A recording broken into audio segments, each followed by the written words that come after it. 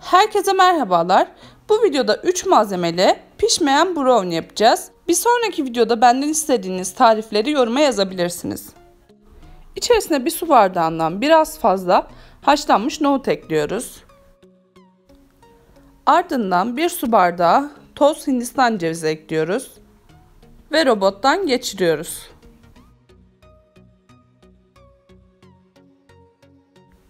Ve ardından bir paket bitter çikolatayı benmari usulü eritip içerisine ekliyoruz. Ve son olarak bir kez daha robottan geçirdikten sonra yağlı kağıt serdiğimiz kalıbımıza iç harcımızı döküyoruz ve her tarafı eşit şekilde yayıyoruz.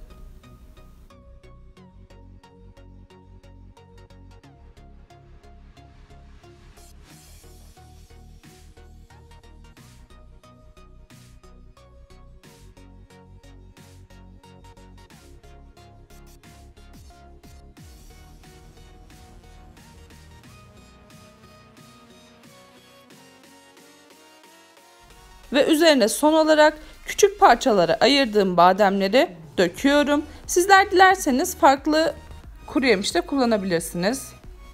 Ve brownie'miz hazır. Artık dilimleyip servis edebilirsiniz.